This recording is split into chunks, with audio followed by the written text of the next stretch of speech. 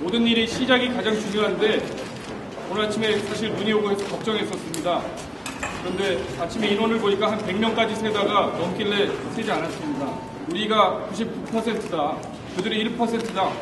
이런 거 눈으로 확인할 수 있는 아침이었습니다. 진부한 말로 시작이 반이라고 그러잖아요. 근데 우리가 이미 내려온 걸로 반 이상 거의 다 했다고 생각합니다. 그 얼마 남지 않았습니다. 분명히 우리가 이길 겁니다. 좀 즐거운 마음으로 좀 마음은 제작법에서 무겁지만 즐겁게 갑니다.